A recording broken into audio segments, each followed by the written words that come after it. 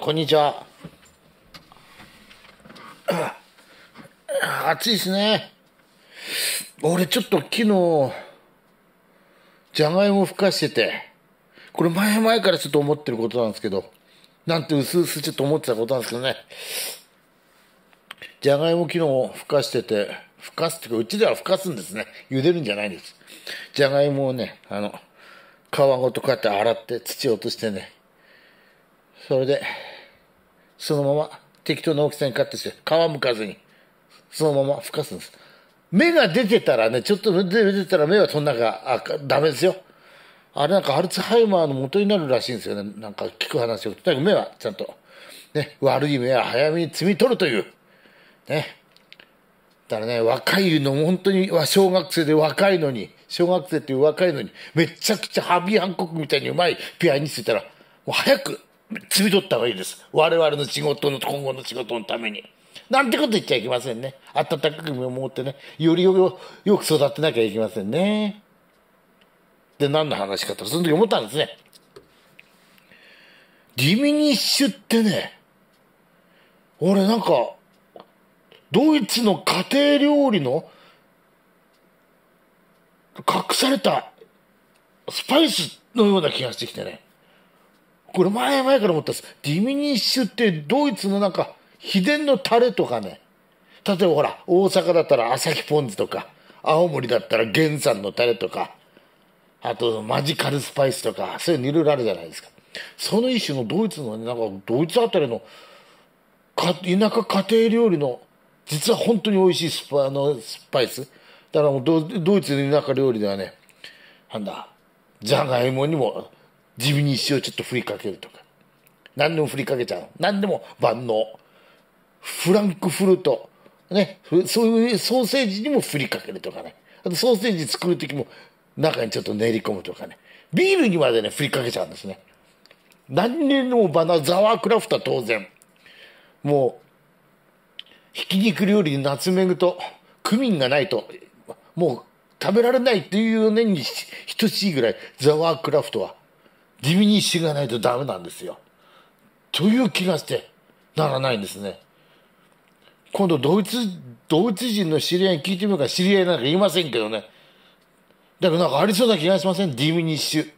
で、結局ね、あの、息子が、息子でも旦那さんが、ちょ、ちょっと行ってくれって、買い物行ってくれってって。あんた奥さんが言うんですよ。あんた駅前のキャバクラ行くんですよ、どうせって。いやいや、そんなことはないよ。駅前の大関に行くんだよ。なんで大関何しに行くの？いや、だからなんか、お前がなんか買ってきてほしいスパイスがあるんじゃねえかって。ああ、そっかあった。あ、じゃあディミニッシュ買ってきてってな具合にね。そういう気がしてなんないです。皆さん、正規聞いてませんか？ディミニッシュ、ディミニッシュね。そのうちカルディでも売らねえかな。さあ、カルディ売りそうだな、そうです。ディミニッシュ。ね。イタリアンスパイスとか、イタリアンハーブミックスとかね。ああの、ああいったものに並んで、ディミニッシュ。ああ、滑ってますね。そういう気がしな。あ、あの、うちのね、スパイス。これはね、マジな話。生姜をね、ね、生姜、普通の生姜、新生姜じゃないですよ。生姜をね、あのー、15個ぐらい買うんですね。1, 1個98円とか100円とか安い時に。158円の時はちょっと高いから。100円とか98円とかなんかそういう時にね、僕は15個ぐらい買って、で、表面水洗いして、で、ざるにとって1日置いといて、軽く水気を飛ばしてから、朝早く、朝早くっていうか、まあ、まあ朝が朝一がいいですよね。あの、徹底的に薄切りするんですね、包丁で。薄切り。15個ひたすら薄切りするんです。スライサー使ってもいいんですけど、スライサーってね、なんかうっかりしてると手やっちゃいそうで。あれ怖いです。やっぱりそんならもう包丁で僕はやりますね。これでね、あの、それをひたすら大体ね、僕の場合ね、1時間かかります。うん。1時間ぐらいかけてひたすら切って。これでね、でかいザル、カバーがついた、網目のカバーがついたザルがあって。これで、それ、それもどっかで売ってるでしょうね。金物屋とかね。群馬、群馬はどこでも売ってるみたいですけどね。まあとにかくそれをまあ持ってるんですよでそこに並べてねで蓋してでベランダに干しとく天気が、まあ、雨降っちゃうとその時はもう天気予報かじりつきですよ。もう確実に3日、4日雨、降らないという時にやるんですね。もう本当に曇りもなるべく天気がもう、お天気マーク。洗濯情報二重丸っていうのが続く日。で、それでね、3日4日干すとね、夏は3日。冬でもね、秋冬でもね、4日か5日干しておけば、外に出してください。朝から晩まで。立派にね、こんなちっこくなるんですよ。で、それをね、あのー、ミルにかけるんです。で、粉にするんですよ。要はで、それをね、うちのマジで万能調味料ですね。うちのディミニッシュ、なんつってね。いいな。と、特許取ろうかな、これ。あ、特許取ろう。ビッグビジネスのチャンスかもしれませんね、これ。そんなの誰でもやってるわい。手間がかかるだけ。いや、だけどこれ本当にね、これでね、あれをね、やるようになってからね、風邪ほんとひかなくなりました。いや、医学的な根拠は言うつもりはありません。薬事法に引っかかるんでね。だけど本当にね、なんか、本当不思議とね、風邪ひかなくなりました、マジで。で、何にでも入れるんです。一回ビールにマジ入れてますけど、ちょっとそれはね、なんかいまいちだったんで、それだけはちょっとやってない、やってないですけど、何にでも入れます。本当何でも入れんな。鍋の時もね、自分の汁碗にこうやってちょこっと一つまみ。もう何でも、チャーハンやる時も、ラーメンの時も、もうすべて、何でも一つまみちょっと入れるんです。あとトマト、あのトマトジュース、トマトジュースはね、あのー、にそこにソーセージちょこっと輪切りにして、それでその一つまみ入れて、オリーブオイルをちょこっと軽く入れて、で、レンチン1分、1、1分ぐらいするんですよ。トマトスープの出来上がりですよね。まあそこにももちろん入れるし、何かと必ず入れるんです。だからか、あのね、味もね、ちょっと深くなるしね、美味しさが増すしね。うん、いいっすよ、あれは。ほいで結局風邪ひかなく、引きづらくなった、確実に。ほいで、まあその1個生姜98、100円として100円が15個1500円。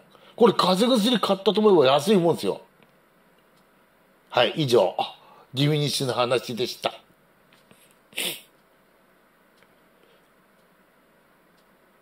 ちゃう。また話長くなっちゃいましたね。いや、本当ね、おすすめですよ、これは。時間かかりますけどね。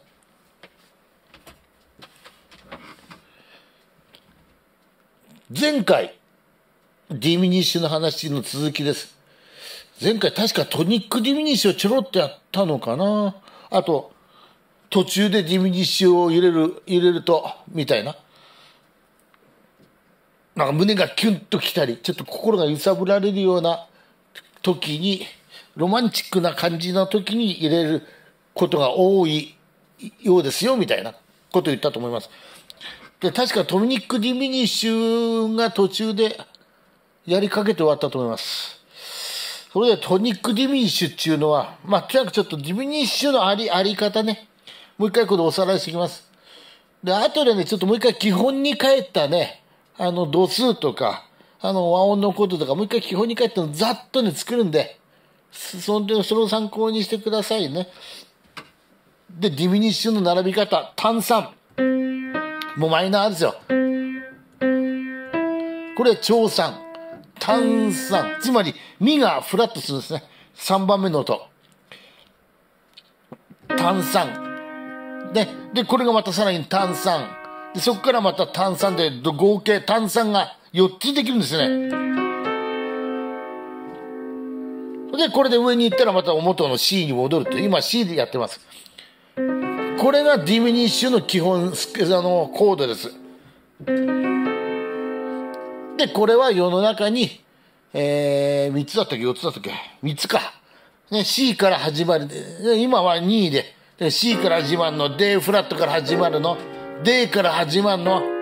ほんで E フラットから始まるのは C と一緒で、みたいな。で、この3つ、3つしかありません。だからディミニッシュスケールっていうのも世の中で3つしかありません。ディミニッシュスケールは、ちなみに、えー、そのルート、えー、ルートってのはここに、例えば今は C ですよ。C から、えー、全音、半音、全音、半音、全音、半音、全音、半音で、まあ元に戻ってくるわけです。お帰りなさいっていう感じでね。これがディミニッシュの、えー、なんていうかな、スケール、ディミニッシュスケールのあれです。これも3つ、三つだけですからね。3パターンなんで。しかもだからもう、全半、全半で単純に並んでるだけです。オルタードスケールってややこしいのがありますね。それはもう、半音、全音、半音、あとは全全全全っていくようなね、ホールトーンスケールとディミニッシュスケールがた、たたしにやってみたいな。なこんな魚いります、いますよね、南洋の方に。なんか頭が黄色で後ろから急になんか黒いとかね。そういうようなイメージですね。まあ、とにかく、そういうややこしい並び方じゃないんでね、覚えやすいと思いますよ。半音、全音、半音、全音。で、まあ、これ例えばね、どの音からでも、半音、全音、半全、半全、半全。皆さん、話は途中ですが、間違いを、ちょっと見つけてしまいましたので、これは慌てて撮ってます。間違えてるのは、ディミニッシュスケールは、半全、半全と抜かしてましたね。半全、半全じゃございません。これは、今やってるのはディミニッシュスケールですからね。半全、半全と言ってずっと言ってたのは、後で出てくる、コンビネーションディミニッシュスケールというものです。今はディミニッシュスケールなので、全半、全半です。全半、全半、全半、全半。今はこれです。これを半全半全と抜かしてました。これは、コンビネーションディミニッシュスケールです。後で出てきます。まあ、ディミニッシュスケール、コンビネーションディミニッシュスケールは、半全、半全、半全。ディミニッシュスケールは全半、全半です。要は、ディミニッシュスケールとコンビネーションディミニッシュスケールは、まあ言ってしまえば、双子のようなもんですね。っていうのは別の人から、後で出てきます。コンビネーションディミニッシュ。これ非常に便利なんです、実はこのスケール。僕はこっちから入ったんですよね。だからついちょっと、もう口癖で言ってしまいました。あまりにも便利なんでね、ちなみにこれの、あの、コンビネーションディミニッシュスケールっていうのは、コンビネーションじゃなくて、コンビニエンスディミニッシュスケールとは、よく言う人もいます、いるぐらいです。まあ、とにかく、えー、半全半全と抜かしてました。これは違います。これは、コンビネーションディミニス、コンビニエンスディミニッシュスケールです。コンビネーションディミニッシュスケール。正しくは前半、前半です。この後もなんか半前半前って言ってそうなんですよね。ただビデオの途中で編集してるさ、途中で慌ててこれ撮ってます。では皆さん、暑いですが、頑張ってくださいね。頑張るもんないですよね、こんなの。指癖にしちゃいましょう。もう黙ってたらそれがバーッとできるぐらい、すぐできちゃいますよ、これは。もう、あの、毎日練習してると毎日ってそんな時間かかりませんから、こんな。ね。あのー、まあ、そういうことです。では、続けてご覧くださいませ。特にサックスフォンとか管楽器と、まあ、ピアニストはもちろんですけど、あのー、それをね、もう散々パターン3つしかありませんから、癖にしてそれをね、自分で音探ってね、半前、半前、半前、半前。ね。ここで半前、半前。トランペッター。わかんない。俺、ユーフォニウム昔やったんですよ。だから、ドレミファソ、まあいいや。トロンボン、トロンボンか、ドレミファソラシド。ほら、できた。ね。すぐクビになりましたけどね、ブラワン。そんなことどうでもいいですね。とにかくね、あの、その半前半前で、これスケール覚えてるです。それは絶対損はないです。たったの3つしかありませんから。で、そうするとそれが自由になったらね、E フラットから半前半前半前とか、もうじゃあ F シャープからって、ね、半前半前半前ってもうすぐできるようになれば締めたもんです。結構すぐだ、すぐだと思いますよ、これは。何が、これね、本当にね、ジャズのアドリブやるときにね、思いっきりかっこよくごまかせます。で、もう便利ですからね。ぜひお勧めしますよ。で、ちなみにまあよくそのコンビネーション、コンビネーション、ディミニッシュスケールでね、こういうアドリブ、これ、楽器ショートこれアドリブで使えますからね。いろんな人やってます。あとなんだっけな。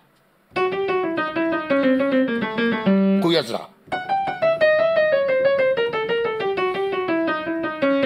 これはまあ C のディミニッシュ、C、E フラット、F シャープ A の、えー、そっち系統のディミニッシュでやってますけど、言ってしまえばこれも2種類、3種類しかありませんからね。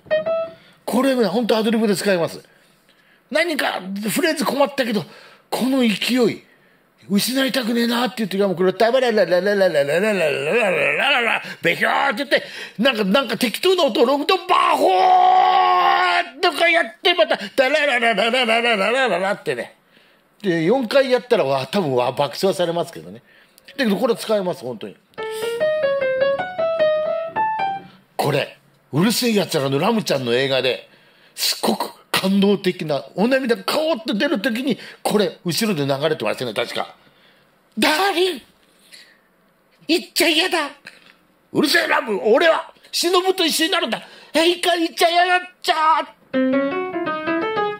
間違ってどうすんねん。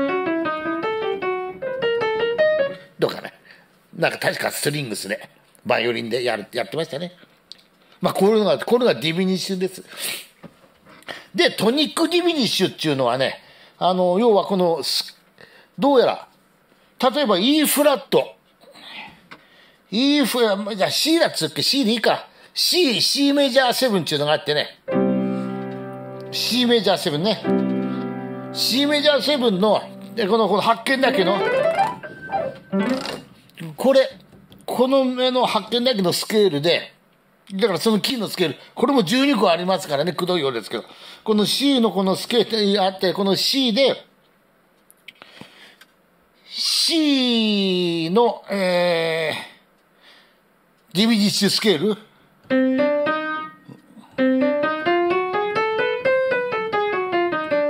このディミニッシュスケールと C のこの、これ、これが一致してる音がいくつかあるんですね。えー、だから例えばこれ C は当たり前。でレも一致してますね。でミは一致してませんよね。でファは微妙だなこれ例えば。このファっていうのはねアボイドノートなんでこれちょっとねあんまりサウンドしません。それでここでね僕はメジャースケールっていうのはね、必ずファはね、あのー、シャープっていうのも混ざってると僕は思ってます。だから正式には、なんですけど、僕はこういうつもりでやってるんですよね。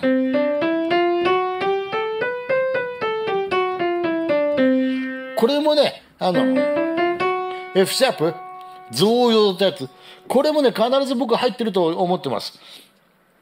で、そう、そうするとこれの音もディビニッシュのスケールに入ってますよね。あと、ソはどうなんだろう。あ、これは、ソは入ってないな。G の音入ってる。あと、ラの音は入ってるし、シの音も入ってます。つまり、ドレ、ドレ、F シャープ、ラ、シが共通してる音なんですね。で、そこにメロディーがあったときに、その C の、これ今は C ですよ。C の半音下の B のトライアード。B のドミソをね、で、ボイシングすることができるんですよ。いいですか例えばね、メロディーでね、こういうメロディーがあったとしますね。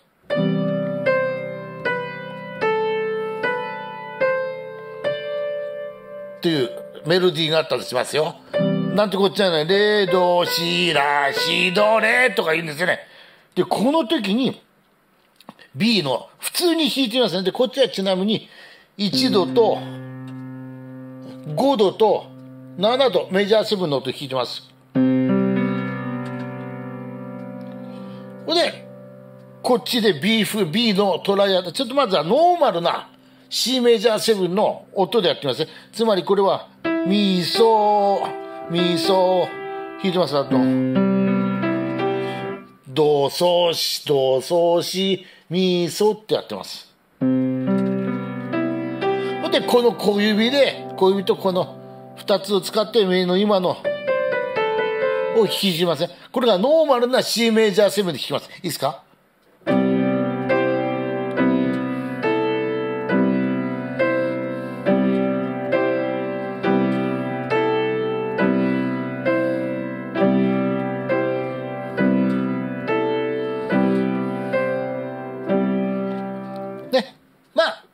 も綺麗です。綺麗ですよ。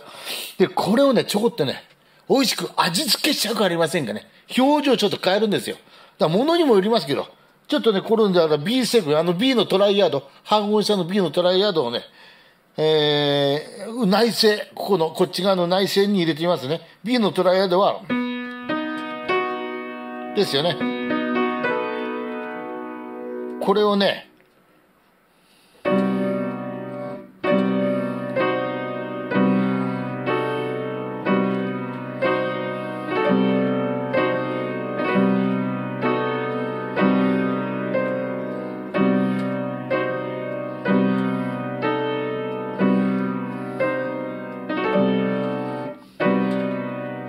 どうですか？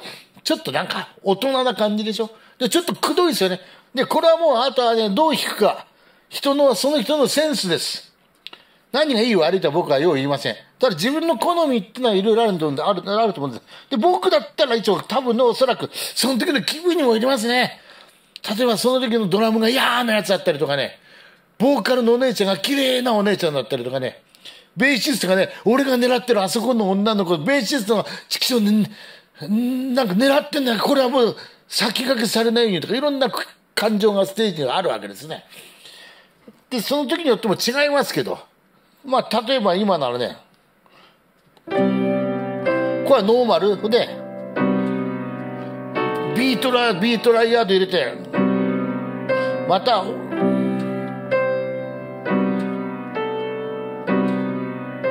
とかね、あと、比較的、わこれはもう2番目の席に座ってるあの綺麗な女の絶対俺ばっかり見てる。やったねこれはもう絶対今日もらったって言う時はもう精神落ち着いてますから。あざということなんかもうしなくていいんですね。だからもうせいぜい。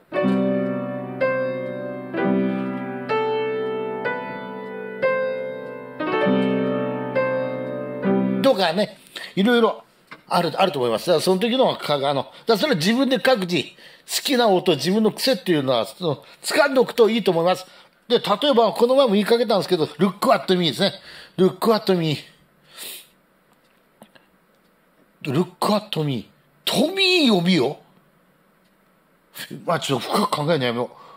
とにかくミスティーです。ミスティ。ミスティのメロディーが、G7 の頭はね。今 C でいきますからね。普段は E フラットです。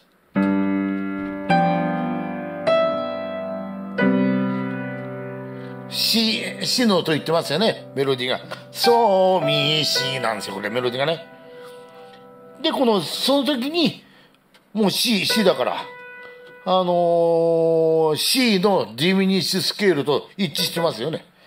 だからここで、半音下の、あの、トライアード弾けます。いきますよ。で、G7 頭弾いて。G7 ですね。G7 のちなみに、ナチュラル13度弾いてます。30? で、ここで C 分の B トライアード。いいですか？じゃあもう一回いきますよ。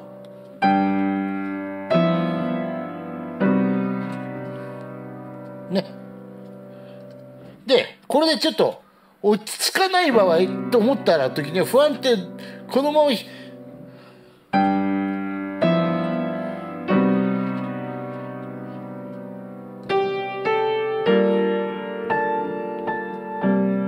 次のメロディーに行く前に、この音で次に行くの嫌だなと不安定さを感じるなと思ったら何解決しましょう?例えばですね。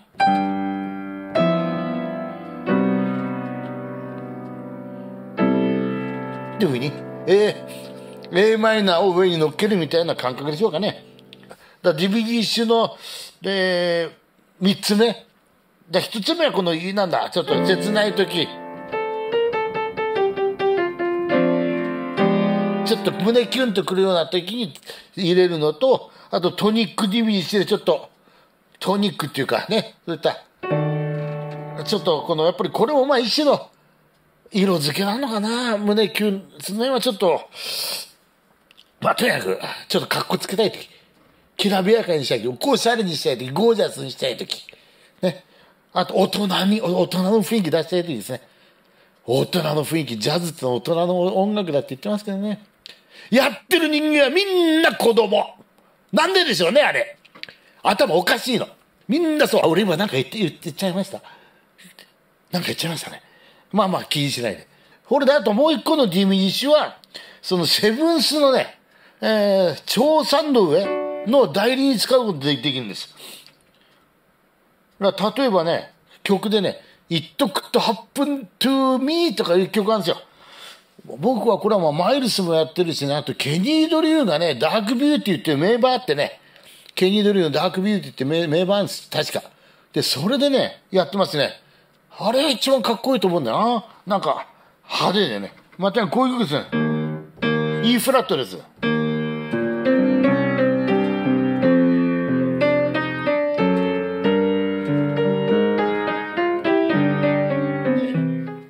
これのメロディーね、これあのね、E フラ、頭がね、E フラット、これトニックね。で、C7、1625っていうね、経連差あるんですよ。1, 1度から、えー、2度に行くために2度目、2度マイナーに行く2度マイナーをちなみにサブドミマイナー、あ、サブドミナントです。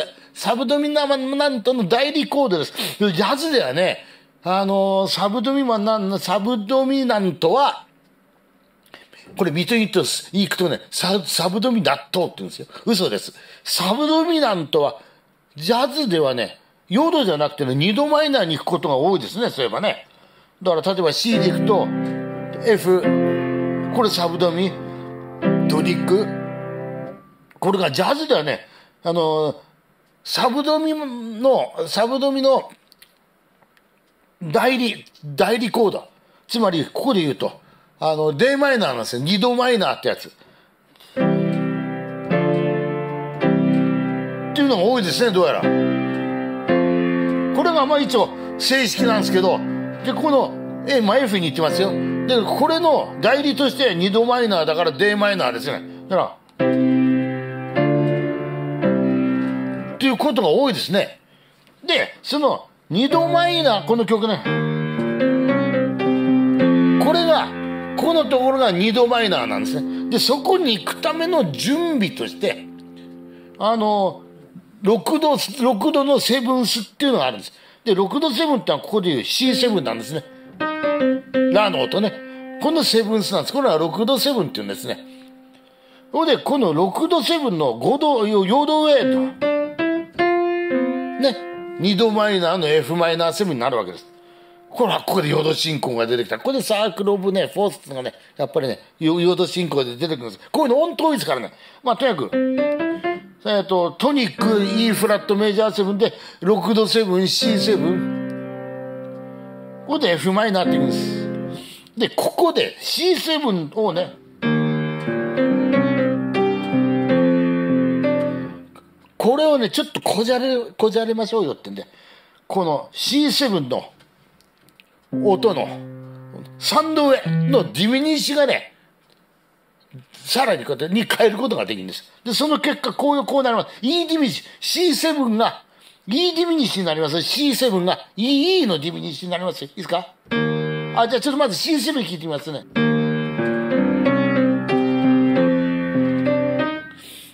次、E ディミニッシュ、E ディミニッシュまたいきます。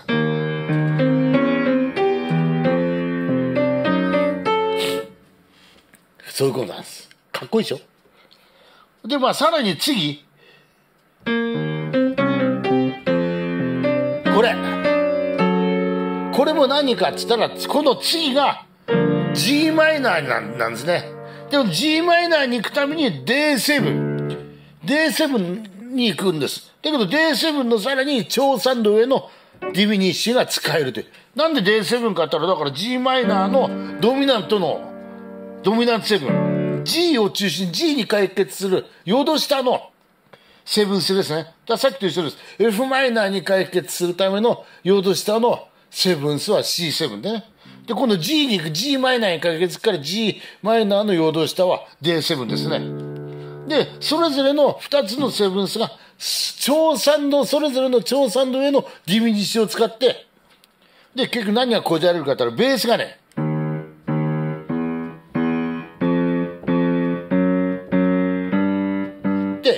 行くんですね。ベース楽し楽してますね。いいんすベースはどうせね女の子にモテるからねピアノ中でおべっかつくておこぼれ頂戴するんですね。ああもう悲しい。いいですか？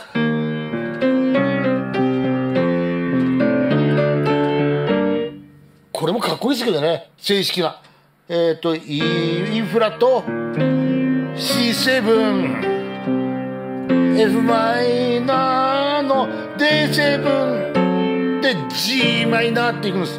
でもこれをディミニッシュに変えたら？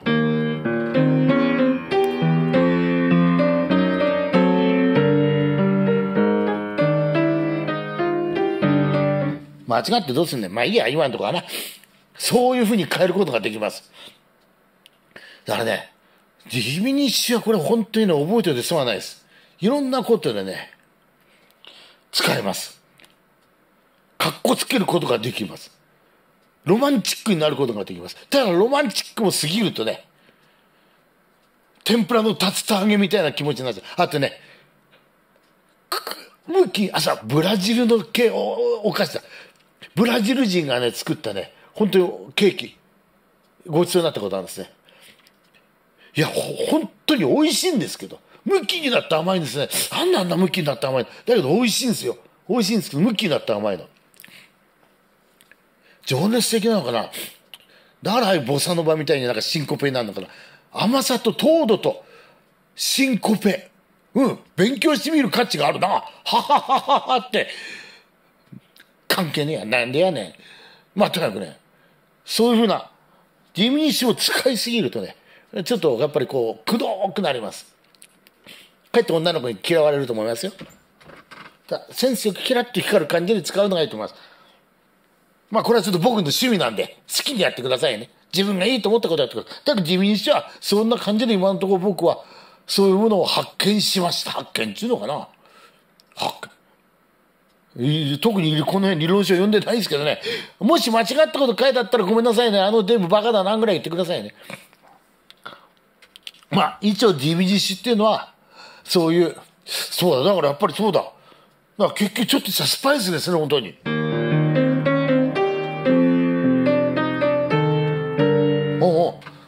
やっぱそうだ。